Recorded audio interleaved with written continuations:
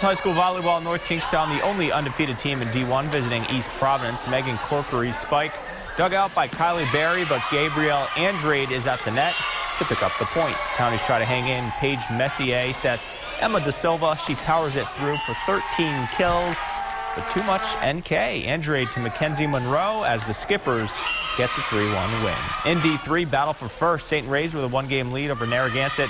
Entering the evening, visitors Sarah Sweet sets Abigail Leacom. Her shot returned by Sierra Gonzalez, but Leacom drops it back in.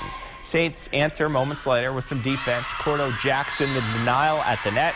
Saints hold over first place, 3-1 over the Mariners. In a big weekend